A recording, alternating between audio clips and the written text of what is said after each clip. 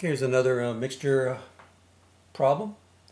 A small vat contains 48 liters of a 5% sulfuric acid solution. How much pure sulfuric acid uh, should be added to make a solution that is 24% pure sulfuric acid? So this is when we're going to in, uh, increase the concentration. And we had uh, when we were going to dilute. Now this we're going to kind of increase the concentration. So we've got um, a 5% sulfuric acid solution, so that's what we're going to start with.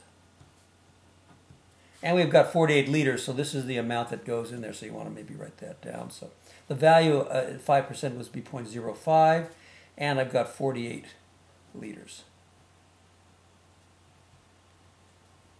So fill that in. And we want to add pure sulfuric acid, so pure sulfuric acid, pure and that's going to be 100%. So the value of that would just be 1, 100% or 1.00. And we want to know how much we're going to be adding to that, so we can call that x.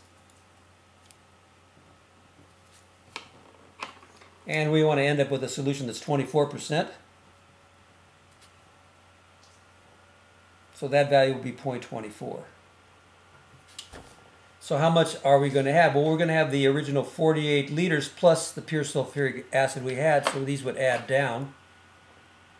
So the amount of the 24% solution I'm going to have will be x plus 48 liters.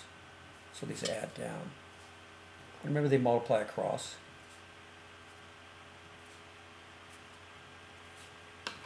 And, and the order that you put them in the table is, doesn't really matter. In other words, we could put the values in, the value, the value, this amount, and then this is the only two boxes we need. So the two, two boxes in red were the ones that we really had to do our work for. Everything else you could just write down right away just by from the problem.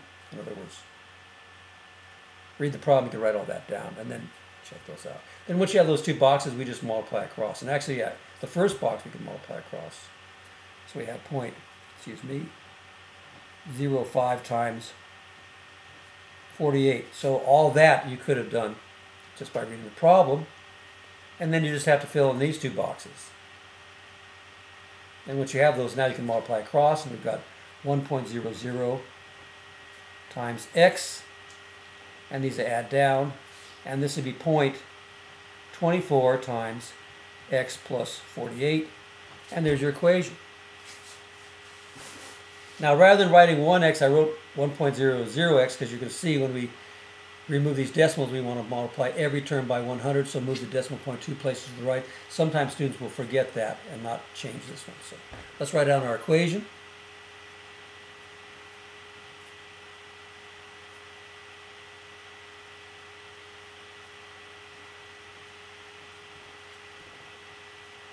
Okay, so 0.00, 0.05 times 48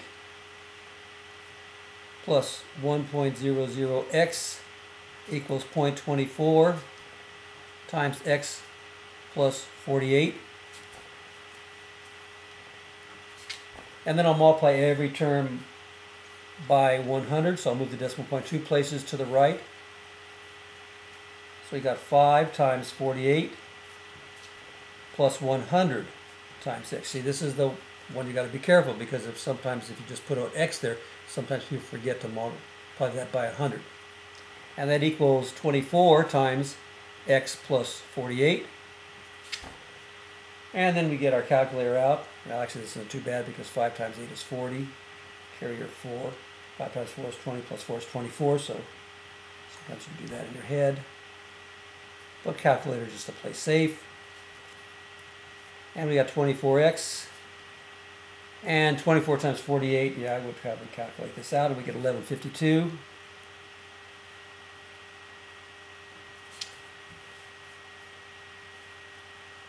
Then I'll try to get all my x's on the same side, so I'll subtract 24x from both sides, and I'll do these each step. Sometimes I do this in one step, but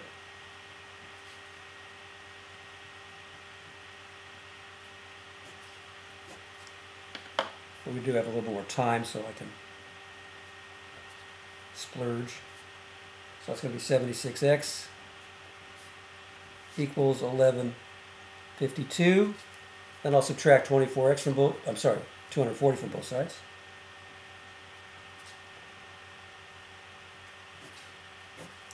And I end up with 76x. Oops, running out of room here, sorry about that.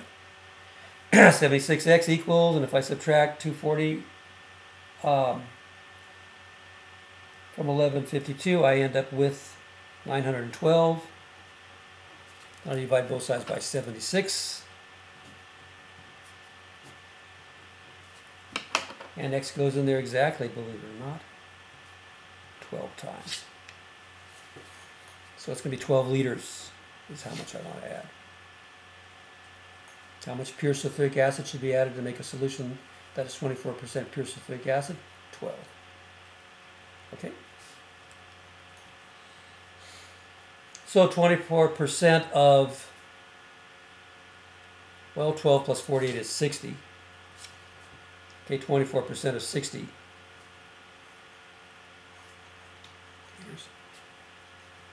Okay, that's how much sulfuric acid we'll have. Okay, if you're interested. Okay, so again, use of these tables is, makes it very easy because it's just a way for you to organize your data. And again, we're always dealing with the amounts of some substance. In this case, it's sulfuric acid. This is the amount of sulfuric acid we started with. This is the amount we had. Okay, or this the amount of sulfuric acid we're adding. Okay, and this is the total amount of solution we have, and we want 24% of that to be equal to this plus this sulfuric acid. Okay, so think about it, and hopefully that will make sense. And again, try these on your own, and then you can try some of the other examples from the worksheet we pass out in class.